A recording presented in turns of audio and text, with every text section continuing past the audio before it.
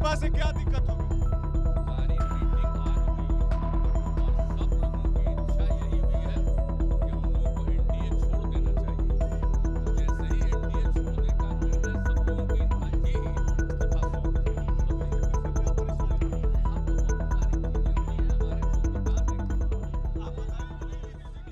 तो देखिए जो भी हो लेकिन ये अच्छा नहीं हुआ। पूर्व में भी इसका एक्सपेरिमेंट हो चुका है।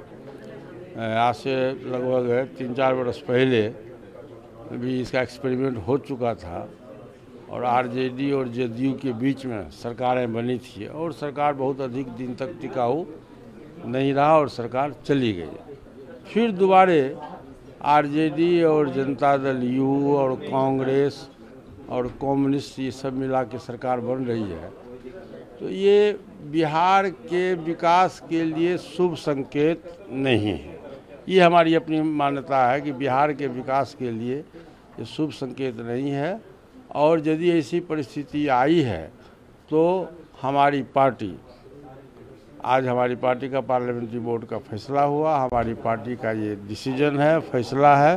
हमारी पार्टी के पार्लियामेंट्री बोर्ड के चेयरमैन श्रीमती बीना सिंह जी हैं, जो सांसद भी हैं, ये फैसला हुआ है।